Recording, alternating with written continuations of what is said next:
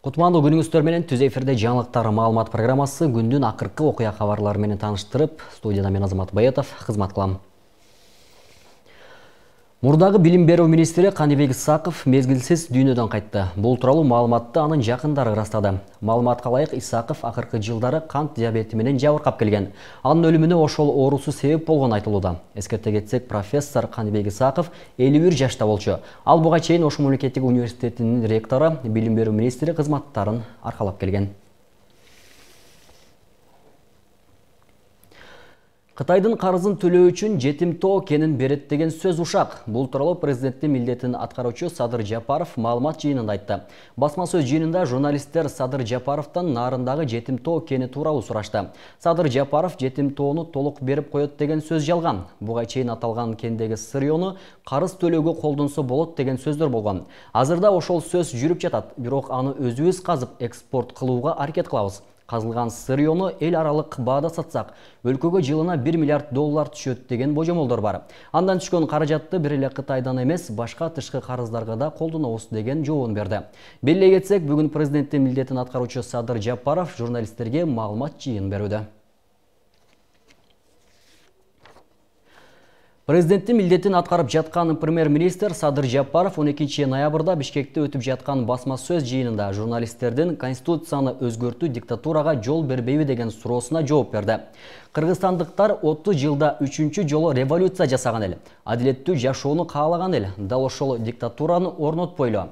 Мыйзамсыздык адилетсиздикти жок кылалы деп мен боломбу. Менден кийинки эшмат келеби же ташмат келеби кыргыз эли диктатурага жол бербесин өзүңүздөр көрдүңүздөр так жана дааны айтып коеюн эч кандай диктатура жана кимдир бирөөнү куугунтуктоо деген болбойт деди садыр жапаров. Жыйырма экинчи октябрда жогорку кеңеште конституцияны өзгөртүү жана президенттик парламенттик шайлоолордун мөөнөтүн жылдыруу жөнүндө мыйзам долбоору жыйынга катышкан сексен төрт депутаттын сексен үчүнүн макулдугу менен дароо үч окууда кабыл алынган. Бул шашылыш кабыл алынган документке ылайык конституциялык реформаны өткөрүү аяктаганга чейин парламенттик кайра шайлоо өткөрүлбөйт жогорку кеңештин депутаттарын шайлоо эки миң жыйырма биринчи жылдын биринчи июнунан кеч эмес дайындалышы керек Шайлоо босогосу 3 пайыз, шайлоо күрөсү 1 миллион сом, форма 2 жоюлду. Мыйзамдагы мындай өзгөрүүгө президенттин милдетин аткаруучу премьер-министр Садыр Жапаров кече 11 ноябрда кол койду. Аталган документ менен чет өлкөдө жүргөн кыргыз жарандары гана добуш бере алат. Андан тышкары президенттик жана парламенттик шайлоого катышкан талапкерлер шайлоочулардын 1 пайызынын добушун алса, шайлоо күрөсүн кайтарып алат. Буга чейин ал 5 пайыз болчу. Президенттик аппараттын маалыматтык саясат бөлүмү мыйзам кол коюлган күндөн тартып күчүнө кирерин билдирди. Мыйзамга өзгөртүү тууралуу жогорку кеңеш жыйырма экинчи октябрда кабыл алып президенттин милдетин аткаруучу садыр жапаровго кол коюу үчүн жиберилген. Шайлоо босогосун күрөөнү азайтуу жана номер эки форма менен добуш берүү ыкмасын жокко чыгаруу маселеси төртүнчү октябрдагы парламенттик шайлоо алдында көтөрүлгөн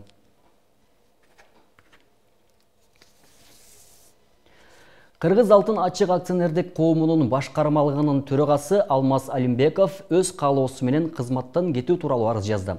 Бул тууралуу ишканынын басма сөз кызматы билдирди. Маалыматта Кыргыз алтындын эмгек жамааты анын чечимин өкүнүү менен кабыл алганы, Алимбеков ишинде эң жакшы натыйжа көрсөткөн жетекчилердин бири болгону айтылат. Кыргыз алтынын жетекчисин директорлор кеңеши сунуш кылып, өкмөт башы дайындайт. Өкмөт азырынча Алмаз Алимбековдун отставкасын кабыл алдыбы жокпу белгисиз. Өкмөттүн басма сөз кызматы Алимбековдун ордуна ким дайындалганы жана анын иштен кетиши тууралуу маалымат берелек. Алимбеков Кыргыз алтын ачык акционердик коомун 2015 жылдын апрель айынан бери башкарып келген. 11 ноябрда бир катар жарандар Бишкекте митингге чыгышып, Алмаз Алимбековду иштен алууну талап кылып, президенттин милдетин аткарып жаткан премьер-министр Садыр Жапаровго кайрылышкан. Наразы болгондор талаптарын кыргыз алтын ишканасында бир каттар мыйзамдар бузулуп келе жатканы, буга жетекчиликтин тиешеси бар экени өңдүү себептер менен негизлешкен. Кыргыз алтын ачык акционердик коому нааразы тараптын билдирүүлөрүн куру доомат катары алып, нааразычылык билдирип чыккандардын бир тобу акциядан кийин бул циркке мындан ары катышууну каалбай турганын жарыялаган. Экономикалық қылмыштуулыққа қаршы күрөшүү боюнча мемлекеттик кызмат сот тутуму жана бир каттар мекемелердин жетекчилери катышкан коррупциялык схеманы аныктады. Анын негизинде Бишкектин райондор аралык сотунун мурдагы судьясы кармалды. Бул тууралуу Финполдун маалымат кызматы кабарлайт. Финпол жүргүзүлгөн тергөөгө ылайык 2016 жылы президенттин аппаратынын кызматкерлери мамлекеттик каттоо кызматынын жетекчилиги, судьялар жана сот тутумунун өкүлдөрү соттун чечимдерин жасалмалап, Максим Бакиевке жакын кишилердин мүлкүн камакка алуу чечимин жокко чыгартышкан. Алар муну менен тийиштүү ишкананын кызыкчылыгын көздөшкөн. Аталган факт боюнча жазык кодексинин 319 беренесинин биринчи бөлүгү коррупция боюнча кылмыш иши козголгон. 11 ноябрда аталган кылмыш иштин негизинде Бишкек шаардык сотунун жарандык иштер боюнча секторунун башчысы кармалды. Ошондой эле Бишкектин райондор аралык сотунун мурдагы судьясы колго түшүрүлдү деп айтылат маалыматта. Азыркы тапта жогорудагы кылмышка тиешеси бар адамдардын кайда экенин аныктоо боюнча ыкчам тергөө иш чаралары жүрүп жатканы кошумчаланды. Ош шаарында мал чарбасын жана рынокты өнүктүрүү эки долбоорунун 8 отурум өттү. Ага Ош, Баткен, Жалал Абад облустарынан жайыт комитетинин жетекчилери жана аймактардан келген фермерлер катышты. Иш чаранын жүрүшүндө катышуучулар жайыт ресурстарын башкаруу жана пайдалануу боюнча аткарылган иштердин натыйжалары айтылды ошондой эле элет жериндеги тургундарга жардам берүү айыл жана мал чарбасындагы өндүрүлгөн продукцияларды сатууга көмөктөшүү керектиги айтылды. Долбоордун ичинде аймактагы ветеринарларга көмөк көрсөтүү камтылган. Белгилей кетсек долбоор ош баткен жалал абад облустарындагы жүз токсон айылды камтыйт. Аталган долбоор эки миң он төртүнчү жылы кыргыз өкмөтү жана эл аралык айыл чарба өнүктүрүү фонду менен келишимдин негизинде башталган. Бул э, долбоор иштегенден бери ошол жайыт башкаруу системасы орноду. Ошондой эле жайытты бир иретке келип жайытты пайдалануучулардын ошол жайыт маселеси жайыттын каражатын чогултуп ошол чогулган каражатты кайрадан эле ушу жайыттардын абалын оңдоп түзөөгө жакшыртууга багытталган бул эң чоң жетишкендик деп эсептелинет.